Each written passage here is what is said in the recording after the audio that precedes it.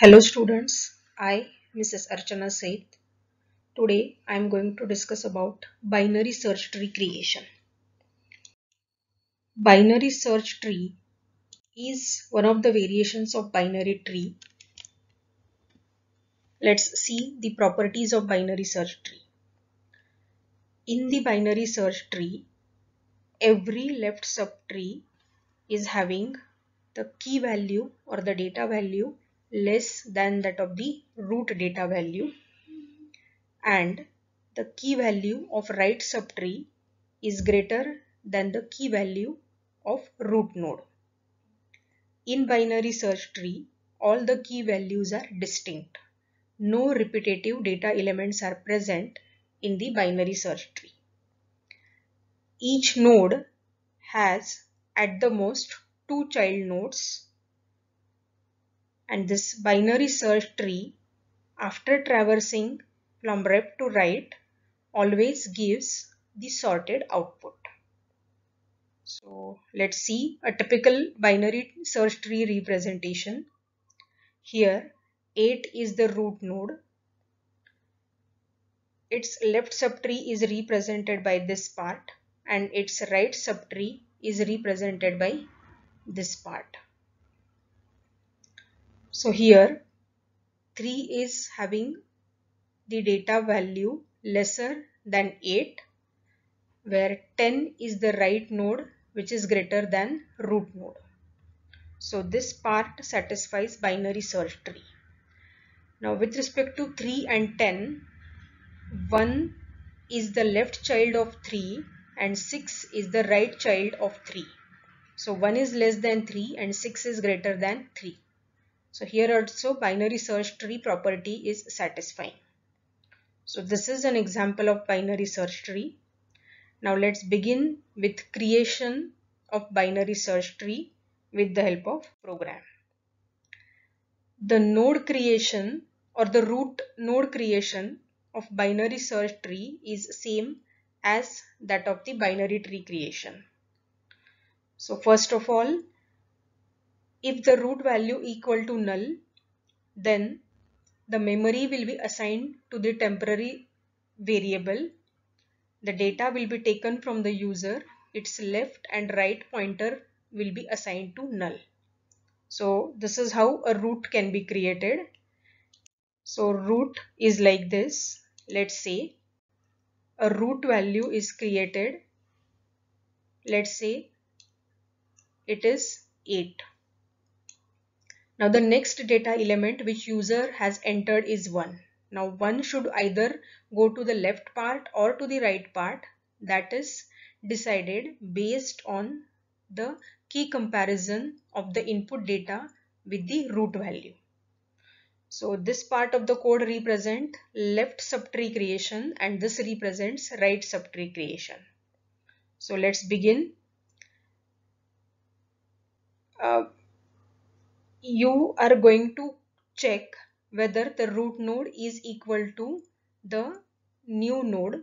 If it is equal, then you should not enter that node in the tree because the binary search tree is having a property of distinct nodes. So here in our case, this condition is not true. So this won't be executed. We'll check with this condition. So tree info is 8 this root node greater than new node. Is this condition true? Yes. Meaning what?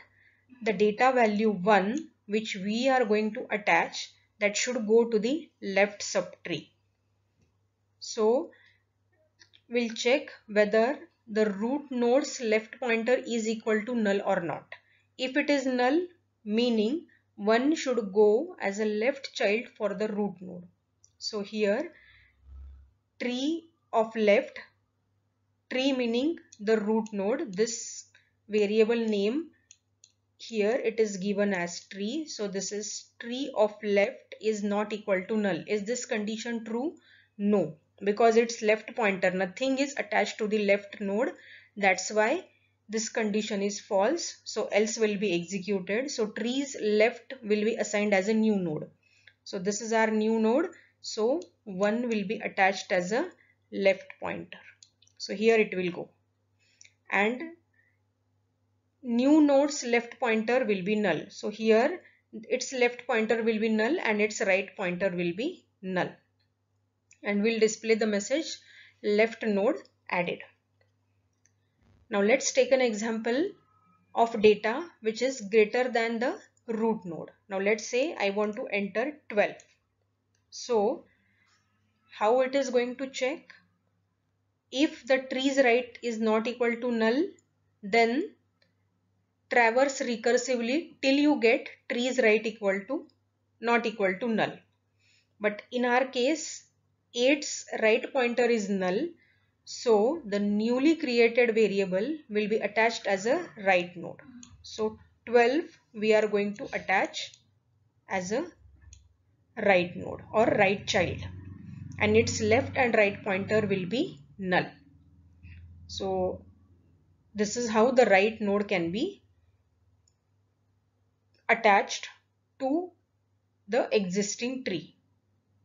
So this is for creation of a binary search tree uh, with three nodes. Now as I told you earlier, if you traverse the tree from left to right in in-order traversal, then the output will be always sorted in ascending order. So in-order traversal means visit left side of the tree, then visit root data and finally the right subtree.